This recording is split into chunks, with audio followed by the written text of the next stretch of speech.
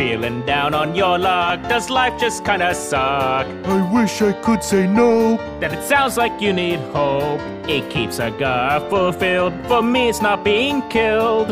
Oh, it's like that joy when we kidnap boys. Uh, no.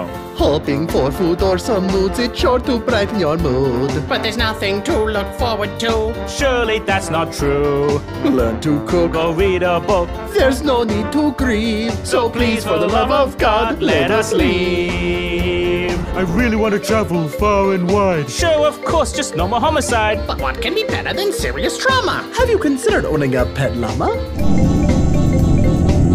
Very interesting, I'll note that feedback. See, guys, life's a blast when you stop looking in the past. And don't you worry, friends, cause in the end, you are brothers who have each other. So hope will always stay to make your day. Now, please just go away.